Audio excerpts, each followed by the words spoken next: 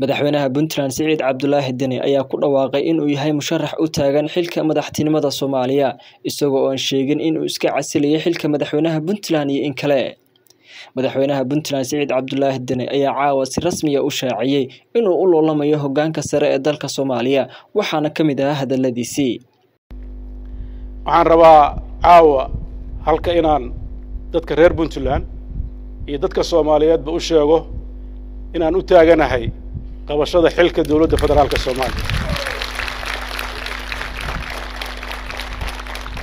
Shaqadaas muddada saddexda sane aan soo waday aniga iyo asxaabtayda iyo dhammaan dadka soomaaliyeed ee wanaagga jecel waxaan rajaynayaa in ay midho dhasho.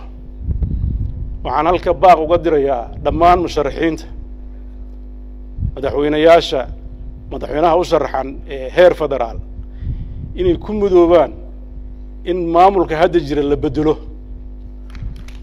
hadafka u weyn oo aan leenahay waxa weeye inuusan sii joogi karin maxamed cabdullaahi farmaajo xilka oo aysan adag tahay in dalkan uu hore u socdo. Hadafka koowaad oo aan leeyahay waa kaas. Waxaan rabaa inaan kala shaqeeyo cid kastoo hadafkaas leh. Waxaa insha allah rajaynayaa maalmaha soo socda shaqooyinka arrimaha ku aadan inaan dardargelintooda ay arki doontaan oo aan muujin doono. Aniga iyo dadka reer puntland oo igu horreeyaan xildhibaanada labada aqal iyo kuwa isteedyada kaleeto iyo dadka soomaaliyeed dhammaantoodba waxaan rajaynayaa inaan ka wada qayb qaadano isbeddel muuqda oo ku dhisan nidaam dimuqraadiya nidaam horumarka u shaqaynaya nidaam wanaagga iyo isjacaylka abuuraya nidaam turxaan bixinaya khilaafaadka dadka kala dheeraanshahana iyo bulshada dhexdeeda ilaalinaya inuu mar walba isku soo dhoweeyo runtii mabda' bay iga tahay. Hannaanka dowladda hadda uu maxamed cabdullaahi farmaajo uu ku waday dalka inuusan ku sii soconayn oo in laga beddelo ay waajib tahay. Cid kasta oo mabaadi'daas lena waa dad aan saaxiib ku noqon karno siyaasadda. Dabcan tartan baa jiri doona. Waxaan rajaynayaa cid khayr qabta oo dhammaan musharaxiinta u tartamaysa si midaysan inay uga shaqeeyaan inuu tartan hufan oo deggan oo xalaala inuu dhaco.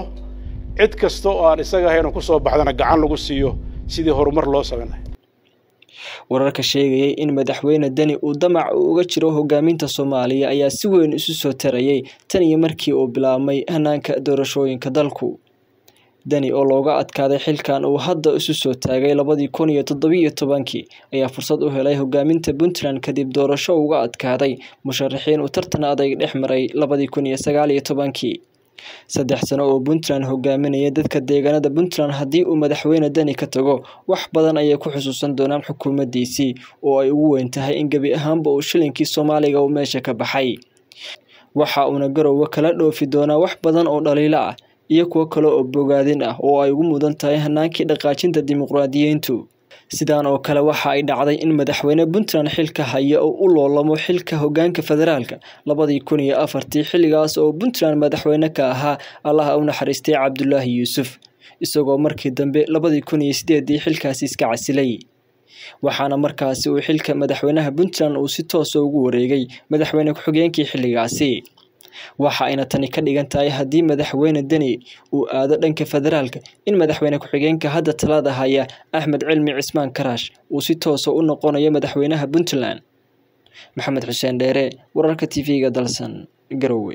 Si aad ugu adeegato premier wallet keliya taabo batanka bay ku aadi kaamirada q r-ka goobta aad wax ka iibsanayso geli lacagta iyo faahfaahin kooban. Taabo next kadibna confirm. Ugu dambayntiina geli mbiinkaaga si aad u dhammayso iibsashada. Premier wallet waa habka ugu casrisan ee aad ku adeegan karto maalin kasta